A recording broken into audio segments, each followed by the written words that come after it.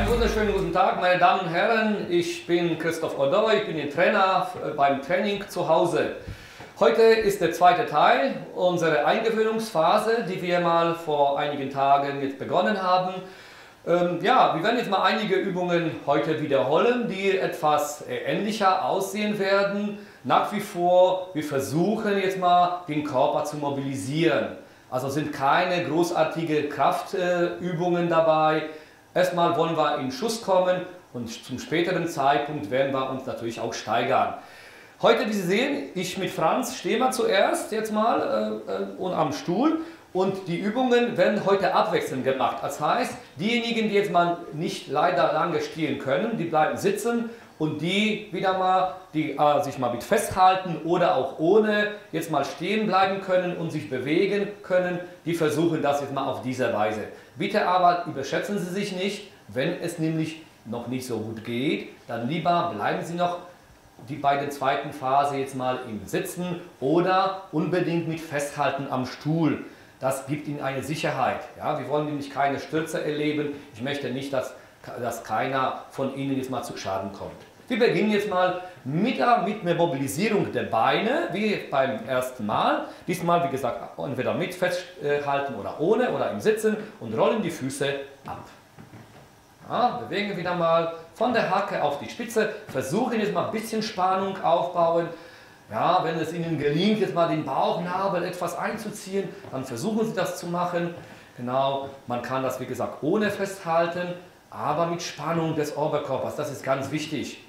Ja, da habe ich gewisse Sicherheit, dass ich auch gut stehen kann.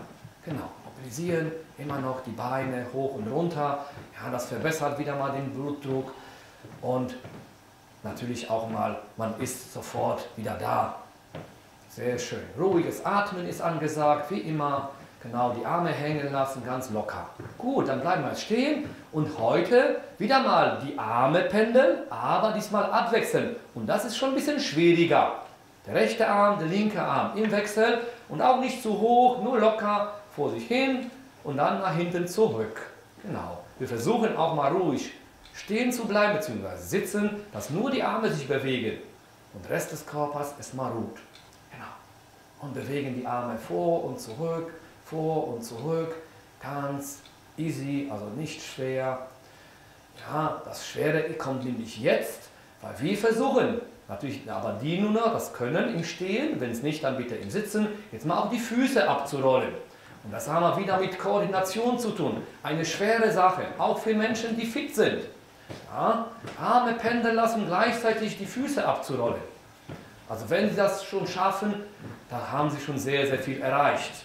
Ja, genau, immer weiter, weiter, weiter, weiter, noch drei, zwei und noch eins. Okay, dann setzen wir uns jetzt mal wieder, Franz, genau auf den Stuhl. So, atmen jetzt mal tief aus. Ja, genau, pusten die Luft aus. Genau, nicht zu viel. Ja, genau, legen jetzt mal wieder mal die Hände auf die Oberschenkel und jetzt mal wird der Rücken mobilisiert, indem wir jetzt mal den leicht abrunden. Und zwar, wir schieben die Hände jetzt mal Richtung Schienbein Genau, und dann wieder zurück, bis wir komplett uns wieder aufgerichtet haben. Achten Sie mal darauf, dass Sie sogar die Hände etwas zurücknehmen, ja, dann sofort hat man eine schöne aufrechte Haltung. Und dann wieder, runden den Rücken leicht ab, genau, der Kopf darf ja mitgehen und dann wieder zurück. Ja, ganz ruhig, nochmal leicht nach unten und dann wieder hoch, Kopf ganz zum Schluss richten wir auf. Ja, wir wollen jetzt mal nicht zu schnell die Bewegung durchführen. Noch zweimal. Wieder richten wir uns auf. Genau. Und noch einmal. Nach unten und dann wieder hoch. Und da bleiben die Hände jetzt mal auf den Oberschenkel. Und vom vergangenen Mal wissen Sie noch mal die Beckenverlagerung. Ja, wir wollen jetzt mal nämlich auch wieder aktivieren. Deswegen wippen wir wieder von rechts nach links. Und ja, diesmal achten wir noch ja, bewusster jetzt mal drauf, wie wir mal das Gesäß anheben. Gelingt uns das schon mal? Wenn es nicht der Fall ist, ist es nicht schlimm. Wir versuchen aber immer weiter. Ja, wir bleiben konsequent. Ja, wir geben nicht auf. Auch wenn es nur kleine Bewegung ist. Also ich weiß aus Erfahrung, dass am Anfang manchmal gar nichts geht. Und dann nach gewisser Zeit sind wunderbare Ergebnisse. Und das ist das Gute. Da kann man sich mal auf die Schulter sogar klopfen. Das tun wir auch. Gut. So, im Sitzen jetzt mal. Wir bleiben sitzen. Die Damen vielleicht können aufstehen jetzt, ja, neben dem Stuhl. Genau. Wir halten uns dann wieder fest, jetzt mal am Stuhl und versuchen jetzt mal im Wechsel die Beine leicht anzuheben. Ja, diesmal leicht. Genau, wir machen das im Sitzen, die Damen machen das im Stehen. Und wie gesagt, wer sich traut, jetzt mal mit Festhalten am Stuhl oder am Sessel, dann tut das mal bitte mal auch im Stehen. Leicht nur, nur leicht. Ja, jetzt schon mal eine, ja, sind wir eine Stufe weiter. Genau, einmal rechts, einmal links, einmal rechts, einmal links. Genau, einmal rechts, einmal links, einmal rechts und einmal links. Gut. Dann dürfen wir uns mal wieder setzen. Und jetzt lassen wir die Arme hängen. Wir dürfen natürlich die Schultern nicht vergessen. Beide Schultern sind wichtig. Das wissen wir auch ganz genau. Wie oft haben wir Probleme damit? Die müssen aktiviert werden. Deswegen tun wir das jetzt. Und zwar, wir haben beim letzten Mal abwechselnd die Schultern nach oben bewegt. Jetzt machen wir das zusammen. Und beide Schultern hoch, beide wieder runter. Aber langsam auch nach unten, nicht fallen lassen und wieder nach unten. Wir können das mal mit der Atmung verbinden. Genau, wenn wir einatmen, dann ziehen wir die Schultern hoch, atmen wir aus, gehen die Schultern nach unten. Und wieder beide Schultern hoch, beide wieder nach unten. Und beide Schultern hoch, beide wieder runter, beide hoch, beide wieder runter, beide Schultern hoch, beide wieder runter. Und nochmal beide Schultern hoch und beide zurück. Und das letzte Mal beide Schultern hoch und beide wieder nach unten. Dann legen wir die Hände nochmal und lassen wir nochmal das Becken wippen. Ja. Das ist nie zu viel. Man kann das ja auch am Tag mehrmals machen. Besonders alle Menschen, die viel sitzen, die sollen das mal oft machen. Auch mal das Abrollen der Füße. Wenn Sie viel sitzen, rollen Sie die Füße ab. Sie können das mal machen beim Ferngucken. Sie können das jetzt mal am Tisch machen. Sie können das auch im Bus, wenn Sie fahren. Gerade mal, wenn Sie im Bus vielleicht mal längere Zeit sitzen müssen. Das sollen Sie auch mal die Beine aktivieren. Nicht vergessen, ganz wichtig. Gut. Und jetzt sind wir wieder nach oben angelangt. Und das ist der Kopf. Wir wiederholen jetzt mal die Bewegungen mit dem Kopf. Wir fangen wieder mal mit Kopfdrehen nach rechts drehen den Kopf nach rechts, drehen den Kopf nach links und heute mal etwas bewusster. Wir schauen jetzt mal, wie weit wir es schaffen, zur rechten Seite den Kopf zu drehen. Und jetzt merken wir uns das und jetzt mal schauen, ob wir links genauso gut den Kopf drehen können oder sogar besser. Oh, und nochmal rechts. Also bei mir ist, glaube ich, die linke Seite tick besser. Ich weiß nicht mal bei euch zu Hause auch. Ja, wir machen das nochmal. Zur rechten Seite bitte nicht vergessen, die Bewegungen des Kopfes führen wir langsam durch. Keine schnelle, nur langsame Bewegung. Da sind wir auf der sicheren Seite. Nochmal links und dann sitzt, sitzen wir da gerade. Der Kopf ist auch gerade. Wir versuchen den Hals etwas lang zu machen, wie eine Giraffe. Genau, und von, aus dieser Position jetzt neigen wir den Kopf nach rechts. Genau, nach rechts, nach rechts neigen und halten. Man merkt auf der linken Seite das Ziehen seitlich an de, am Hals. Und jetzt mal Kopf gerade, wieder mal lang den Hals ziehen und Kopf nach links jetzt neigen. Genau. Und halten, halten. Und noch einmal Kopf gerade und wieder zur rechten Seite neigen. Halten. Sehr gut. Und wieder mal gerade. Noch einmal links. Jawohl. Und wieder gerade. Und jetzt mal die letzte. Diesmal geht das Kinn zur Brust wieder nach unten. Dann geht der Kopf etwas nach oben. Dann noch einmal nach unten. Dann wieder mal etwas hoch. Dann haben wir den Kopf wieder gerade, dann drehen wir den zur rechten Seite und dann das Kinn wieder runter auf der rechten Seite. Geht nicht so gut. Und jetzt mal schauen zur Decke. Noch einmal auf der rechten Seite runter. Noch einmal schauen zur Decke. Dann Kopf gerade, drehen über die Mitte nach links. Dann den Kopf senken wieder ab. Und schauen kurz hoch. Und noch einmal Kopf senken wieder ab. Schauen kurz nach oben.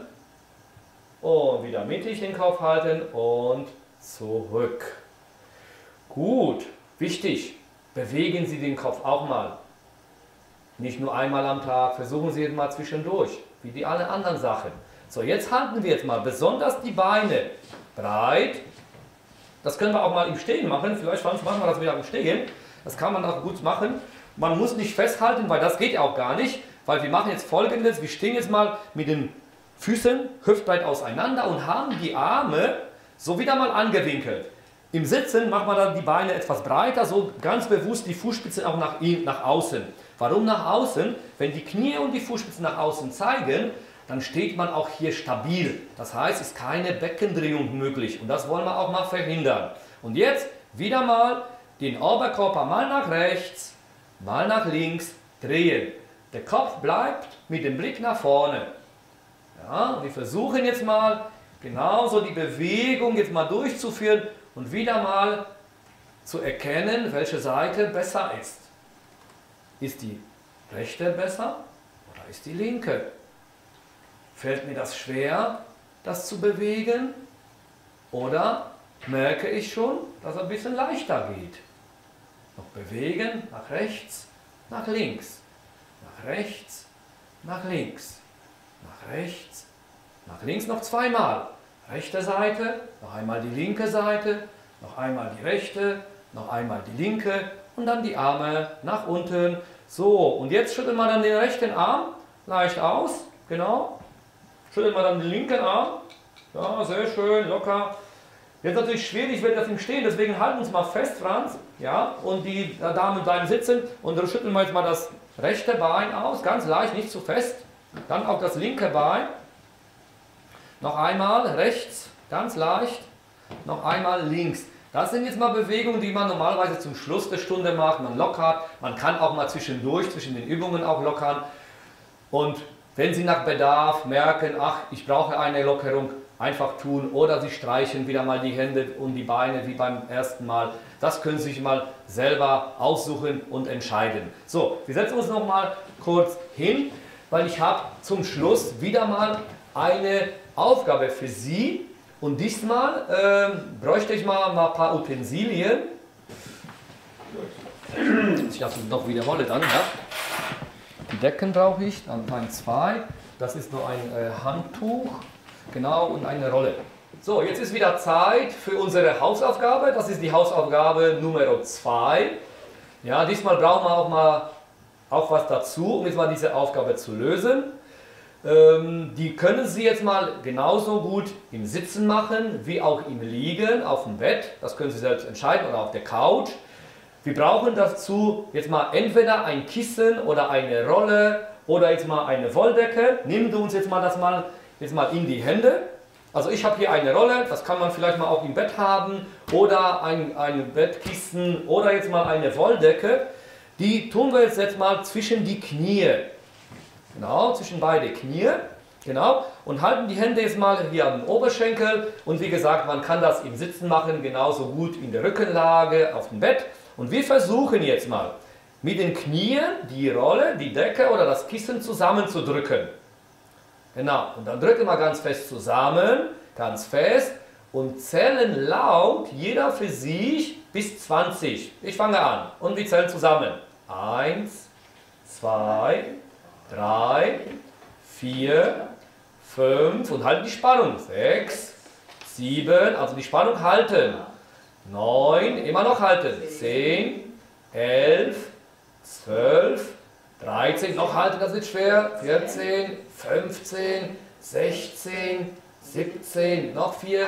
18, 19, und 20, genau. Und dann die Spannung lösen. Jetzt haben Sie bestimmt gespürt, jetzt mal in der Innenseite, aber nicht nur die Oberschenkel waren wichtig. Wir haben auch mal die Spannung in der Beckenbodenmuskulatur gespürt. Vielleicht nicht so deutlich, aber das ist so. Und das ist ganz wichtig für alle, für uns, weil Die Kontinenz ist ein, ein großes Thema und wollen wir alle kontinent bleiben.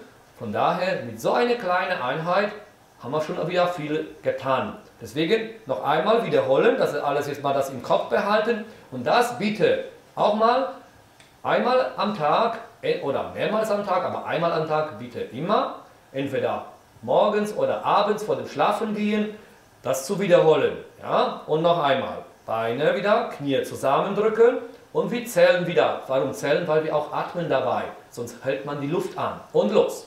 Eins, zwei, drei, vier, Spannung halten, immer weiter.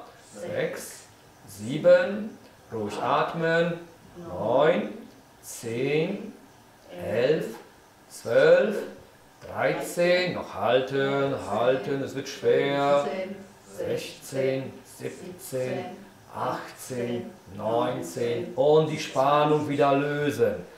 Und das sollten Sie bitte mal dreimal wiederholen. Zwei bis dreimal. Zwei ist auch okay, aber wenn Sie schaffen, sogar dreimal. Und bitte nicht vergessen, immer zu zählen, damit Sie auch weiter atmen, dass Sie nicht die Luft anhalten. Ja, dann bedanke ich mich für heute. Wünsche viel Spaß damit. Hoffe, dass es auch Spaß gemacht hat. Und wir sehen uns bald wieder. Auf Wiedersehen. Tschüss.